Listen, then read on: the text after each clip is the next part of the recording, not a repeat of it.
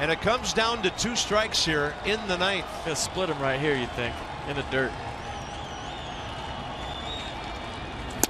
Goes with the fastball. The game is over. Jonathan Papelbon, his sixth of the year, and he had to do it the hard way. Well, good for him. And like I said, go right after him and end the game on a strikeout to Giancarlo Stanton. Look at the first two strikes.